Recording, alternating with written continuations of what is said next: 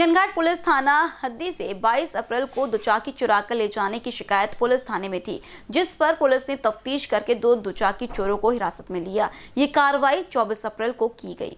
Police सूत्रों से मिली जानकारी के अनुसार 22 अप्रैल को दुचाकी क्रमांक M H thirty two U seven five four seven ये दुचाकी मालक दुकान के बाहर खड़ी करके दुकान में गया। दिन भर दुकान में काम करके रात के दरमियान घर जाने के लिए निकला। लेकिन जिस जगह पर मोटरसाइकिल रखी थी, उसे वहाँ दिखी नहीं, जिस पर उन्होंने हिंगनघाट पुलिस थाने में तकरार दाखिल किया। थानेदार संपत चौहान ने इस मामले में डीबी पथक के शेखर डोंगरे के पथक को उपरोक्त गुनाह बाबत निर्देश दिए। शेखर डोंगरे और पथक ने अपने संपर्क सूत्रों का फ़ायदा लेते हुए उक्त गुनाह के आरोपी अमोल पुलकंटवार 29 वर्ष, सेंट्रल वार्ड हिंगनघाट के पास से चोरी की मोटरसाइकिल कीमत बीस हज़ार रूपए जब्त करके उसे हिरासत में लिया।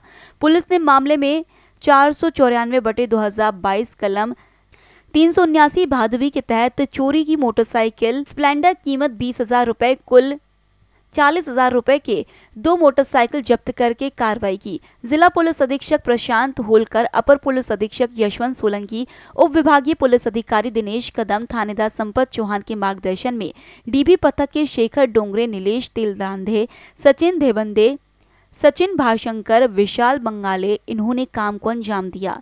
हिंगनघाट से बीसीएन न्यूज़ के लिए रवि यनौरकर की रिपोर्ट।